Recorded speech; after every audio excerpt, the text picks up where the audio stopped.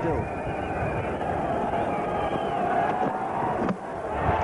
It's the wicket down all over for Basit Ali.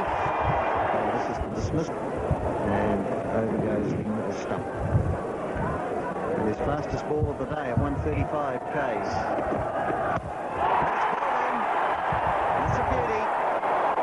See that swing, fairly late swing.